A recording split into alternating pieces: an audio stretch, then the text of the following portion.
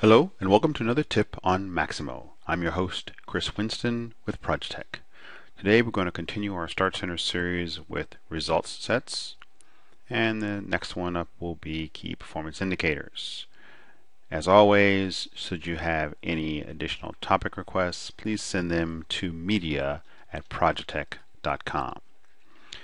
The results set you are already familiar with in the application when you run a query. On the list tab, after you run the query, you have your result set in front of you. The Start Center allows you to take that result set and bring it to the Start Center so it's available to you each time you log in. So essentially each Start Center result set will begin with a saved query. It allows you to select and to sort the fields, that is left to right which fields appear. So it's a little bit of application design or uh, tools. Gives you some limited conditional formatting, uh, essentially color for the most part. It can be configured for graphical display instead of list, uh, and you'll be able to toggle back and forth. And contains active hyperlinks to the detail record or records that you choose from. If you choose to actually filter, you can filter very much like you can on the application list tab based on the fields uh, that are available for filtering. Uh, whenever you add a result set to uh, Start Center, you ought to always want to make sure that you give it a title. And Maximo will remind you once you have added it uh, that it hasn't been set up, and then you'll have to go ahead and set it up. And we'll go through that in just a moment. Uh, essentially, you will begin with the save query and in some cases, you may have queries that appear in more than one application. So you want to pay attention to the column on the right, which shows you which application. Uh, that way, when you select a record, it'll go into that application uh, based on the choice that you make from this panel for the available queries. Then you move on to the column display, where you'll get to choose what columns that you want to have displayed with a check mark and then choose the order that you want them to display in left to right.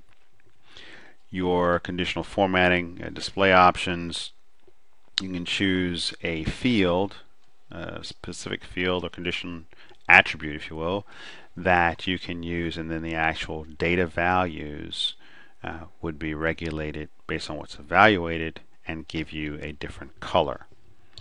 Keep in mind these are exact data values. System variables will not work. So get date or sysdate, depending on your system, uh, those will not work here. You're actually looking at discrete values. Uh, last thing here is with chart options. And essentially, you can do this when you set up the portlet, or once you have it set up, you can just modify it later. Uh, it's not required that you do it here, but it, it's an option. Probably a good idea if you know what you want to set it up with going forward. Um, just kind of example is what you'd have in terms of results set in a list and looks like these are oh this is from the previous one which is conditionally colored based on the ABC classification and the graphical view uh, displays then the, the same data and data set but gives them to you in a bar chart and there's also a pie chart option as well and when you would actually click on a bar in this case would take you into the application where the query was built and display then those ABC type in records. So you get a chance to leverage the fact that these are active hyperlinks and get into the actual data within the application. Just as an example, um, some, most times your result sets will be set up on the wide side of the screen, but for those things that have a few uh, columns, you can set them up on the narrow side. In this case, looking at current user information so that you can display, and this is just a little, little bit better view of it, uh, display who's currently logged into the system, and that's something available to you uh, within the application. And again, all of this is based on whether or not you have security rights. To see several examples, um, here you have a number of different results that's displayed. Uh, here's one where it looks like uh, result set's the title. So you probably don't want to have that. You want to make sure you put a title onto the result set uh, that's available when you go through the design. And if you forget about it, you can always come back to it later. Uh, and then for whatever conditions you have, you can choose um, to alter the color. For example, POs with open receipts look like these are colored by uh, individual site. So that just actually looking at multiple sites you, you don't have to have your results looking at individual site. You can look at multiples again assuming you have actual rights. And let's see let's go ahead and get into Maximo. And we'll go ahead and design. Uh, let's see let's go ahead. We'll change our content we're going to add result set. We'll add one on the left side on the narrow side and we'll add one on the right the wide side. So our narrow side one will just make it easy and we'll go ahead and grab the user info. So who's logged in? Let's see. And of course now I'm going to find the right query.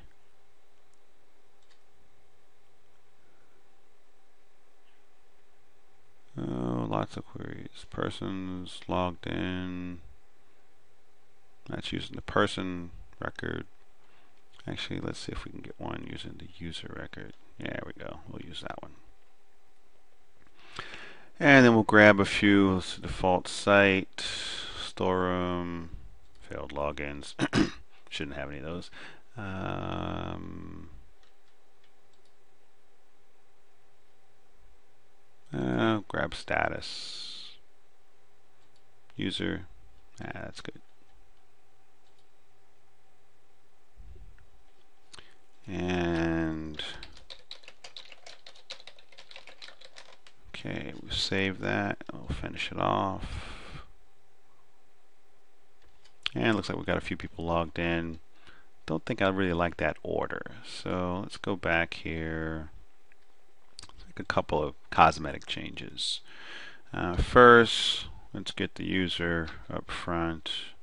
I want to know those bad logins right away.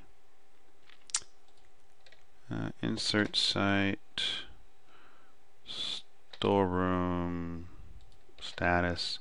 One other thing, a couple of things I should do here. Let's shorten this up. And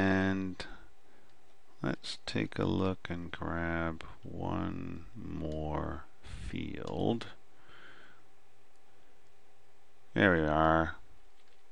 I want to make sure they're using their default site as a display filter. And we'll change that title. Eh, go to higher number. Yeah, it's a better display. So now we've got the primary information we're looking for, and reason I grabbed the default, default uh, site filter, we want to make sure for people using the application that they're seeing that, and it is restricted to the records they're really looking for people have multiple site access, they can of course make a switch at any point in time. But it's, this can be more useful uh, to people as they're using the application. Alright, so let's go ahead and set our wide one. We're going to grab, uh, let's see, let's take, uh, we have receivables somewhere. POs with open receipts. There we go. And we'll go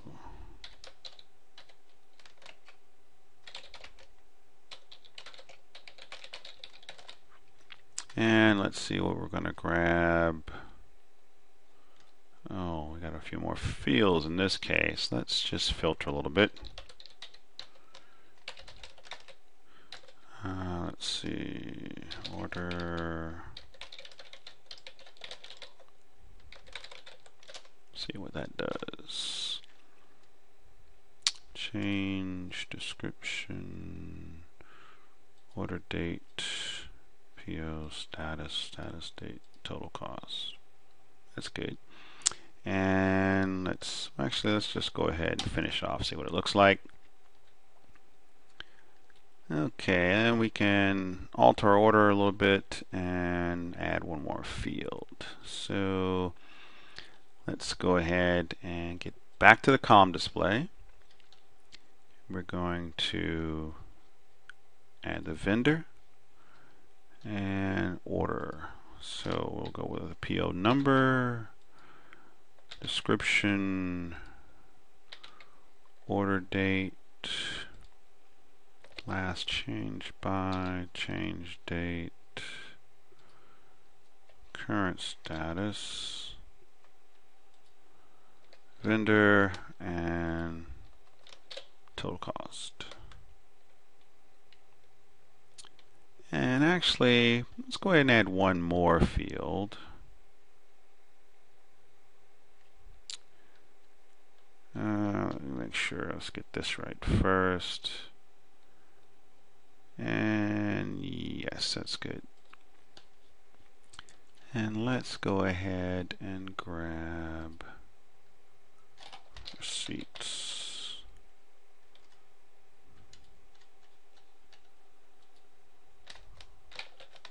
Well, we'll give it a high number. It should just push it out to the right.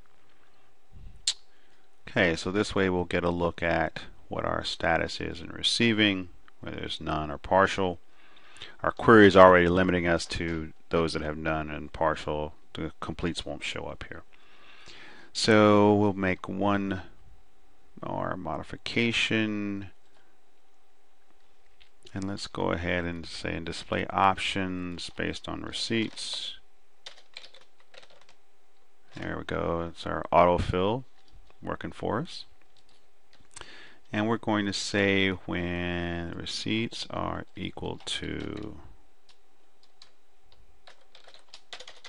none. Uh, we'll make those blue and partials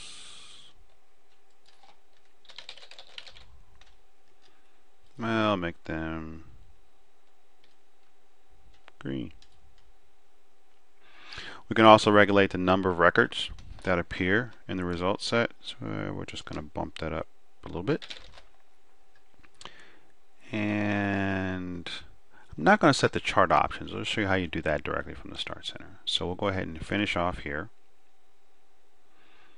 And we can see we've got our, our change in color here. We can scroll to the next page. And now we can go ahead and set the graphic options from here. And in this case, we'll go ahead with receipts again. Choose OK. And then from here, we can go to graphic view. And we see on the partials, we've got nine. We can click on that link and it takes us into the receiving application and shows us the nine purchase orders that have uh, partial receipts. So uh, that will take us through building a result set. And again, should you have other requests, please send an email to media at projetech.com. Next up, key performance indicators. Thanks very much and have a good day.